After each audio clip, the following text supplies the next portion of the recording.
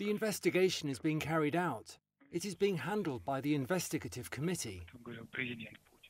President Putin talked about it recently. It is our own Russian investigation. So, in this case, any international involvement is out of the question.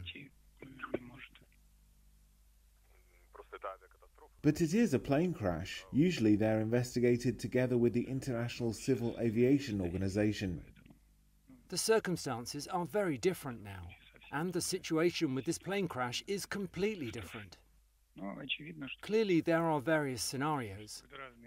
Among them is the scenario that, well, you know which one.